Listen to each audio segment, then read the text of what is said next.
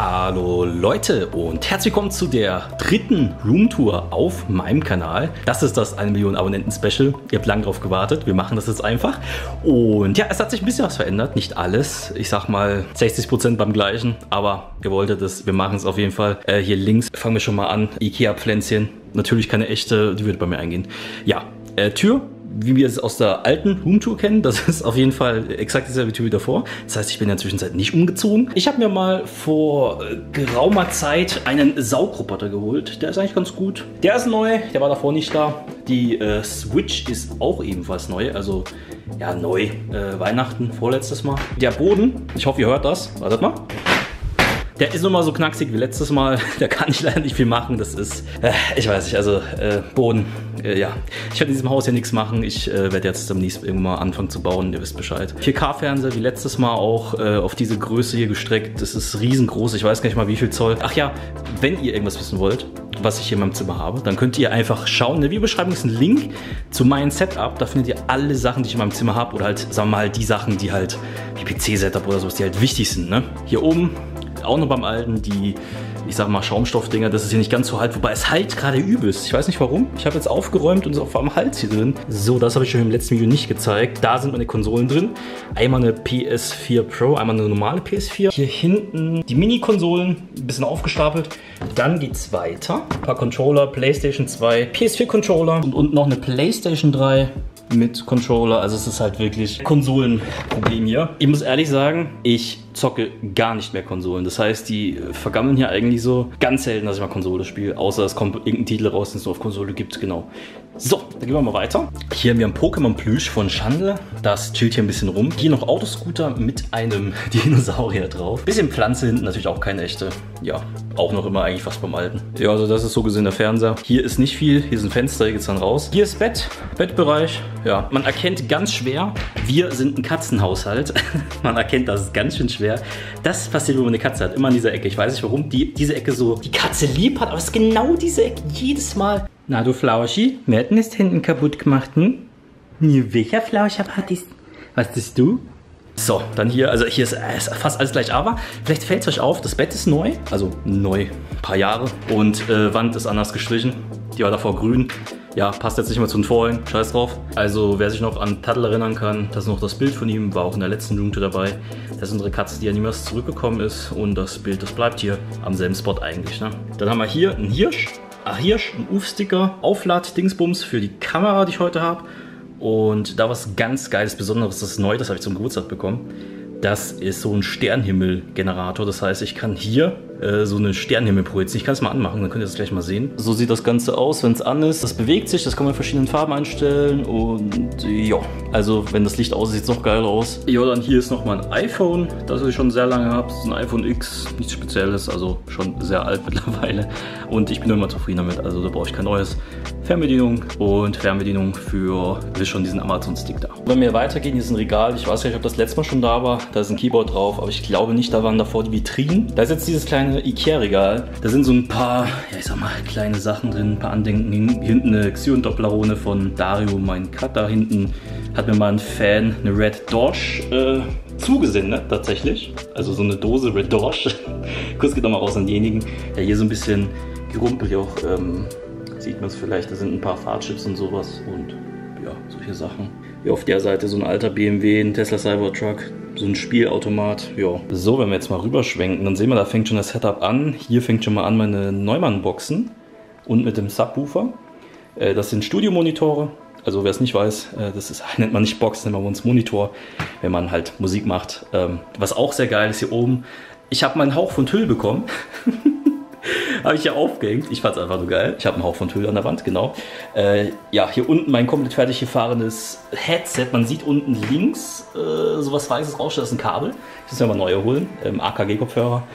Ja, äh, hier mein Mikrofonarm mit einem Neumann TLM 103. Das ist mein neues Mikrofon, genau. Sehr gut fürs Aufnehmen und auch ein Popschutz ist drüber, genau. So, dann hier sieht man mein TC Helicon. Das ist ein Effektgerät, damit mache ich Autotune und so weiter rein, wenn ich darauf Bock habe. Oder sample meine Stimme. Nicht zu vergessen mein Audio-Interface, was unter dem Counter ist. Wichtig und richtig, das Ding. Hier ein 100, ah, jetzt wollte ich schon sagen 100.000 Abonnenten-Counter, meine 1 Million Abonnenten, die wir geknackt haben. Nochmal Kuss geht raus jeden einzelnen von euch, ne? Kuss, Kuss, Kuss, Kuss. Warte mal, bevor wir jetzt hier weitermachen, hier oben ist der Play-Button, genau. Ähm, ich weiß nicht, wo ich dann den 1 Million Abonnenten Play-Button hinballer, weil der ist mir fast ein bisschen, ich sag mal, hm, lieber wenn der hier hängt, weil es war meine ersten 100.000, das war halt der krasseste Meilenstein ever. Ich weiß, es ist jetzt viel, viel mehr, wenn du dann 1 Million Abonnenten-Button hast, aber das war so das, wo ich mir gedacht habe, jetzt habe ich was erreicht, soweit.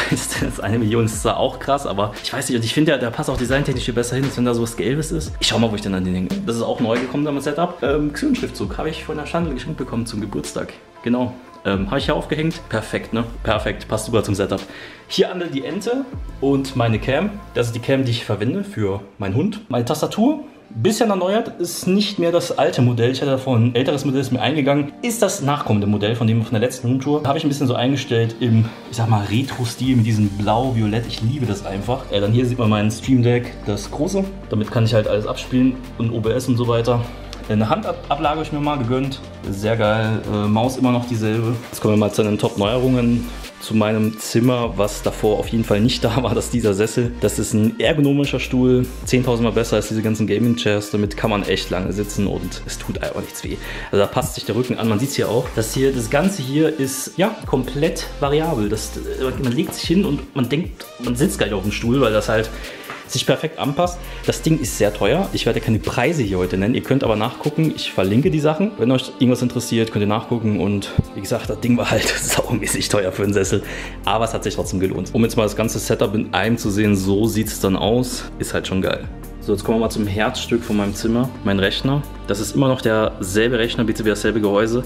Im Inneren hat sich ein bisschen was getan. Nämlich habe ich hier zum Beispiel eine MSI Supreme 390er verbaut, eine sehr starke Grafikkarte. Ähm, meine schön gesleevten Kabel und dann in der Mitte, weil das jetzt ein 3-Anschluss ist, ich habe noch immer keins gekauft, also bitte haut mich nicht dafür. Sieht ein bisschen chaotisch aus, aber ähm, ja, mein Gott. Ich habe es noch nicht eingestellt, jetzt, dass meine RAM-Riegel im richtigen Licht leuchten sollten, die jetzt ebenfalls so in diesem ja, ich sag mal, violett sein hat nicht ganz geklappt, äh, muss ich wieder einstellen. Genau, das resettet sich immer. Bitte fragt mich nicht, warum sich das immer resettet. Das ist irgendwie vom, vom Mainboard aus, dass das halt sich ab und zu mal resettet. Ich habe von Corsair, habe ich mir irgendwann eine neue Wasserkühlung gegönnt. Davor war ja eine ich glaube, Be Quiet Wasserkühlung verbaut. Irgendwann habe ich mir so eine geholt und ja, es läuft halt alles so dermaßen leise. Also diese Grafikkarte hier, muss ich sagen, war bis jetzt die beste, die ich was gekauft habe, weil sie so leise ist. Da gibt es auch einen leisen und einen lauten Modus. Ich habe den leisen Modus aktiv und der reicht halt komplett aus. Ja, viel kann man jetzt nicht reingucken. Ähm, hier noch ein paar alte SSDs. Es sind insgesamt sehr viele SSDs verbaut. Ich glaube, warte mal, hier hängt eine. Das ist so eine M2 SSD. Insgesamt sind es dreimal solche M2 SSDs verbaut. Ach ja, und äh, meine CPU habe ich vor, ich glaube, eineinhalb Jahren oder zwei Jahren mal geköpft und habe da mal ja dieses äh, Flüssigmetall reingeballert, dass sie viel, viel kühler ist. Und äh, das funktioniert wirklich. Es ist zwar sehr aufwendig gewesen, aber es hat sich gelohnt. Der PC läuft halt jetzt kühler und halt leiser. So sieht der jetzt vom Weiten aus. Äh, mich triggert nur gerade irgendwie, dass diese RAM-Riegel noch immer rot sind, aber mein Gott.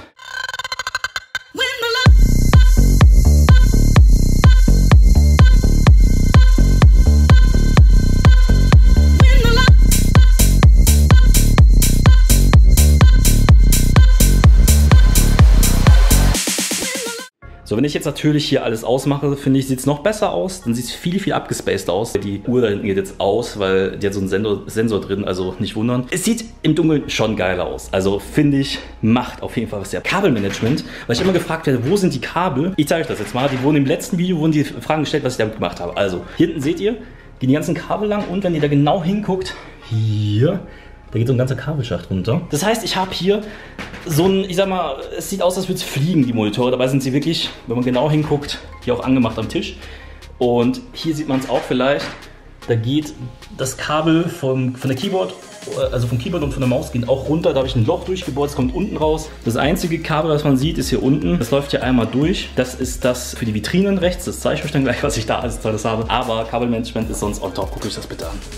Das ist so clean, also man sieht kein Kabel auch vom PC aus, man sieht es einfach nicht. Gut, außer man guckt hier genau hin, ja, da geht das Kabel runter vom, ne, ah, da sieht man auch von der Maus das Kabel, ne? Ja gut, das ist halt Kabelmanagement, aber wenn man hier so hoch guckt, das ist halt, das ist halt einfach nur geil. So, ich lasse das Licht jetzt aus. Wer sich fragt, ist gerade wirklich bei uns 6 Uhr morgens? Ja, ist es. Ich habe jetzt die ganze Nacht hier durchgemacht und habe eigentlich das Zimmer schön gemacht für euch. Also, ich äh, muss das auch noch schneiden. Das heißt, dass ihr heute das Video bekommt, genau.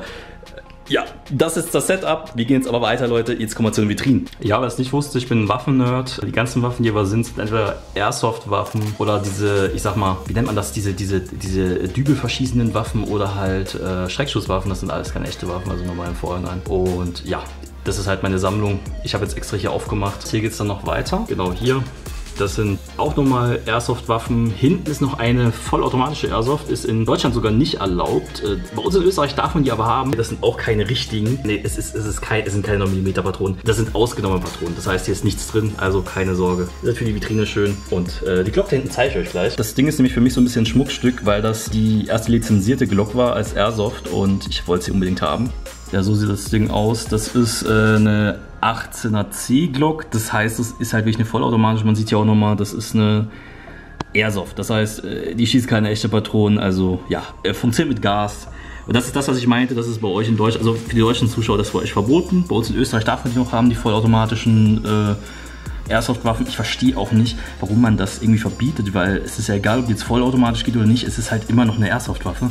Und das Geile ist halt hier dieses Magazin, dieses erweiterte, das ist eben das Heftige und hier der Schalter zum Switchen. So, zurückgestellt das Ganze, sie steht da hinten verpackt. Äh, ich habe nämlich keinen Platz, um Waffen hinzustellen. Äh, Laser, auch wichtig zu wissen, ist bei uns in Österreich auch illegal. Wir dürfen an Airsoft-Waffen und äh, solche Waffen Laser anbauen. In Deutschland ebenfalls nicht erlaubt. Also ihr werdet gleich noch ein paar andere Sachen sehen, die bei uns erlaubt sind, bei euch nicht. So, dann kommen wir erstmal zu der ersten GTA-Abteilung. Da hinten, das sind solche, ich sag mal, ähnlich wie Lego-Figuren. Das hinten links dieses Kubrick. Dann habe ich hier meinen GTA 5 für den PC. Hier habe ich so einen Zippo. Rechts ist so ein USB-Stick. Hier sind solche ich sag mal, sind das nochmal diese, diese, diese Pins oder sowas genau. Noch ein paar Anhänger. Jo, das ist mal die erste Seite. Hier wird es etwas teurer. Das ist eigentlich so mein absoluter, ich sag mal, höchster Wert, den ich habe, so da drin in der Vitrine. Diese Figur hier wird es nicht glauben, aber ich habe gesagt, ich habe keine Preise, aber hier kann ich sagen, die kostet so zwischen 800 bis über 1000 Euro, wenn man die sich holen will. Das ist von GTA 3. Hier sieht man es auch so eine Spezialfigur. Das ist Cloud, wer den vielleicht kennt. Und ich musste die unbedingt haben. Ich habe die zweimal, weil man sieht hier gerade, die Jacke ist eigentlich aus Leder. Also wer es nicht weiß, äh, Cloud hat eine Lederjacke, sieht jetzt nicht aus wie Leder. Das Problem ist, das ist qualitativ so schlecht verarbeitet gewesen. Das war halt so ein Kunstleder, dass das abgegangen ist. Das heißt, ich habe ein zweites äh, Ding gekauft, so eine zweite Jacke. Und da war auch äh, die Figur dabei, weil ich diese Jacke neu haben wollte. Und das heißt, ich habe eine Ausstellerfigur hier, die halt draußen steht und, aufgepasst, hier ist die zweite Figur. Also wie man sieht, da ist auch diese Lederjacke drin. Das ist die schönere Figur. Das heißt, ich habe zweimal so eine Figur, so gesehen halt verpackt mit äh, den ganzen Waffen und so, die halt da dabei sind. Spiegelt es ein bisschen, ich weiß, aber ja. Genau, und dann haben wir hier noch vom PC GTA alle Teile bis San Andreas halt. Also nicht alle Teile, halt GTA 3 bis San Andreas, heißt, das weiß ich auch noch dabei.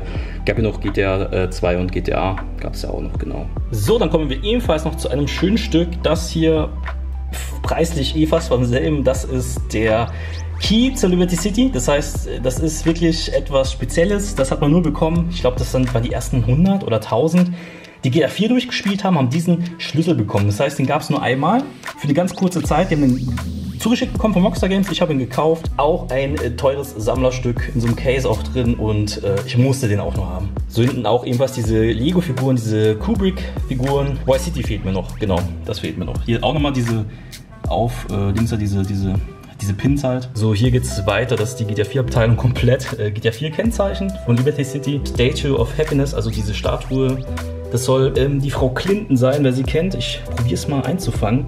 Das ist Frau Clinton, weil die mal irgendwas gegen GTA hatte, dass das Spiel ja so brutal ist und so weiter. Und da hat Rockstar damals die Figur in GTA 4 nach der Frau Clinton designt. Finde ich irgendwie lustig.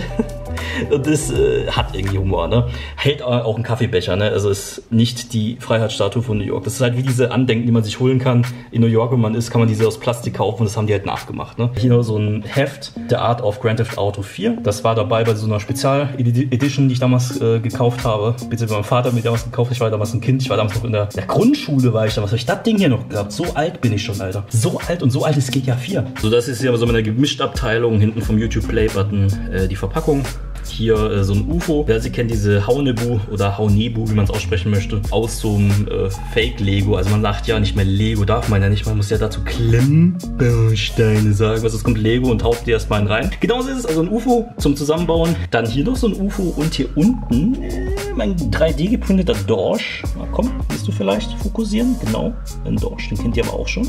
So, jetzt kommen wir mal zu meiner Messerabteilung. Hier ist auch nochmal eine schöne Uhr, die ich geschenkt bekommen habe von Schandel, ähm, vom BMW. So eine BMW-Uhr. Echt geil, BMW M. Hier auch nochmal ein kleiner Affe von Black Ops 2, wer den vielleicht noch kennt. Genau. Und hier jetzt die Messersammlung. Ich muss nochmal dazu sagen, weil ich die auch schon mal gezeigt habe auf Insta, da kamen immer wieder Heulkommentare. Ja, du weißt aber schon, dass die illegal sind. Also es geht hier um die Messer hier oben. Das sind Butterfly-Messer. Die sind tatsächlich in Deutschland illegal. Aber ihr wisst, ich lebe in Österreich. Das heißt hier auch ab 18 frei erwerblich. Und die kann man hier kaufen. Komplett legal. Also in Deutschland nicht legal, bei uns schon. Fragt mich bitte nicht, warum in Deutschland diese Messer nicht legal sind. Ich habe ja mitbekommen, dass bei Adlerson, der hat die mal äh, gezeigt, irgendwo sein äh, Messer. Genau so eins, so ein äh, Butterfly-Messer, was glaube ich, oder ein Springmesser. Der hat tatsächlich eine Hausdurchsuchung bekommen, weil der das in einem Video gezeigt hat. In Deutschland. Hausdurchsuchung. Polizei ist reingekommen, hat äh, alles hops genommen und hat die Messer mitgenommen. Musste dann Strafe zahlen wegen illegalen Waffenbesitzes. Also das ist halt schon echt hart lächerlich, ne? wenn du denkst, wegen so einem Messerchen. Weil ich denke mir so, die hier unten wären zum Beispiel in Deutschland auch legal.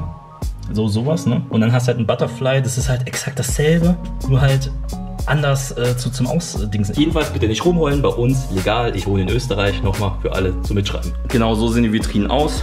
Alles schön aufgestapelt, schön hergerichtet. War mir wichtig, dass das schön aussieht. Und äh, ja, wenn ich dann irgendwann mal umziehen sollte, kommt es auf jeden Fall in meinen eigenen Gaming-Raum, in mein Gaming-Büro rein. Jetzt ist das ja alles ja eigentlich kein einzelner Raum, das ist ja wirklich Schlafzimmer und äh, Büro so gesehen, wie Gaming-Room, alles in einem. Ach ja, by the way, da oben, Fast and Furious Stuff, äh, ja, alles geschenkt bekommen. BCW, ich glaube, zwei habe ich mir selber gekauft. Zweimal die Super, weil andere gedacht hat, ich habe die noch nicht. Die habe ich dann einmal zum Geburtstag bekommen, aber dann hatte ich sie schon. Also ich nochmal andere. So hinten diese Spongebob-Memes, da habe ich einmal Patrick und einmal hier den SpongeBob habe ich auch nochmal mit dem äh, Rainbow. So hier der wohlbekannte Router, der immer wieder um die Uhrzeit, wenn ich streame, offline geht. Nochmal ein einzelner WLAN-Kasten. Habe ich mir noch dazu gekauft, der kann zwar auch WLAN, aber das ist besser. Dann, jetzt kommen wir mal zu was Besonderem. Von der Special Edition von Destroyer Humans habe ich mir gekauft. Äh, Crypto, wer den kennt. Crypto, genau. Hier sieht man es auch, Destroyer Humans, die Special Edition, die ich mir damals gegönnt habe. Und jetzt passt der auf. Das ist nicht alles, das sieht halt richtig, ihr wisst ja, Aliens, UFOs liebe ich einfach, das musste sein. Hier unten noch auch nur original verpackt, äh, das UFO. Ich habe es noch nicht ausgepackt. Ich wollte es irgendwie drin lassen. Ich wusste nicht, wo ich es hinstellen soll, also habe ich es hier in den Karton gelassen. Ja, hier nochmal Fast and Furious Special Sachen von Hot Wheels waren das, genau. Meine Capture-Card, die ich ausgebaut habe, weil ich keinen Platz mehr dafür hatte, weil ich da eine SSD eingebaut habe. Genau, die liegt ja auch rum. Und hier ist besonders für die Katzen. Wenn die Katze mal Bock hat zum Schlafen, es wird zwar nie benutzt. Ich habe es gekauft von Ikea, es wird nie benutzt. Und hier sieht man, der kleine Maus, was ist denn da? Ja, wer kommt denn da aus dem Kratzbaum? So, und wenn wir uns jetzt hier ganz krass durch den Wald kehren, dann finden wir hier auch Ventilator, ja. Der komplett hinüber ist und komplett alt und kaputt ist. Perfekt. Das ist der Ventilator, den ich mir mal anmache, wenn es äh, heiß im Zimmer wird. Ich meine, im Sommer habe ich zwar eine Klimaanlage, die ich da und zu reinballer, aber wenn ich streame, kann ich die nicht reinballern, weil das ist das Fenster offen, dann hört das jeder. So, also ich zeige das immer nochmal im Ganzen, dass ihr so ein bisschen vorstellen könnt, so räumlich her. So sieht das aus. Ich habe jetzt nochmal das Licht ausgemacht. Äh, hier nochmal mit den Lämpelchen, mit den Lichtern und mit dem ganzen Zeug, Gedöns, Bipapo und hier nochmal der Fernseher, genau. Also so ist das hier alles aufgeteilt. Es ist halt, ja, eigentlich schon ein größeres, größeres Zimmer. Viel Platz auf jeden Fall. Wie gesagt, ich freue mich, wenn ich hier mal ausziehen darf und ein eigenes äh, kleines Büro habe, dass ich nicht äh, aufstehe. Ja, hier aufstehe, zum PC gehe und direkt arbeite. Das wäre sehr schön, dass man das trennen könnte. Ich kann das nicht trennen, das ist halt ganz schön schwer. Und es halt hier so laut, ne? es ist halt richtig hier drin, weil ich aufgeräumt habe und hier kein Scheiß mehr drin ist. Jetzt halt im ganzen Zimmer. Das, das triggert mich gerade richtig heftig. Für was habe ich das hier alles gekauft? Ach ja, hier hinten, da war ja auch mal eins, das habe ich weggemacht. Äh, ja, da, da, war mal, stimmt, da war ja mal dieses äh, GTA-Bild äh, ist hier gehangen. Deshalb habe ich das weggemacht. Aber das ist, das ist, äh, das habe ich nicht mehr aufgehängt. Ja, moin, fällt mir gerade auf. Ja, moin. Jo, Leute, ich hoffe, euch hat diese Roomtour gefallen. Es ist ein äh, bisschen, hat sich was verändert, nicht viel, aber ihr wolltet das unbedingt sehen und ja, wie gesagt, vielen Dank nochmal an die 1 Million, da muss ich mich echt nochmal bedanken bei euch persönlich. Falls ihr was haben wollt, wie gesagt, alles in der Beschreibung habe ich was verlinkt unter meinem Setup, da findet ihr die Sachen. Wenn ihr noch irgendwelche Fragen habt, vielleicht in den Kommentaren, schreibt es gerne rein. Genau, schaut in meinen Merch-Shop vorbei, wenn ihr rein wollt. Ah, da könnte ich euch vielleicht ein bisschen Merch zeigen. Muss mal gucken, ob ich noch was da habe. Genau, und schaut gerne in den Merch-Shop. Ich habe jetzt die zwei Teile hier, die frisch gewaschen sind. Äh, ja, wie alt ist das schon?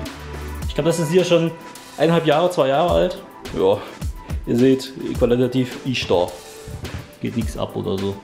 Also schaut gerne den Shop vorbei. Also Leute, wir sehen uns. Vielen Dank fürs Zuschauen. Ähm, wir sehen uns bis zum nächsten Mal. Haut rein.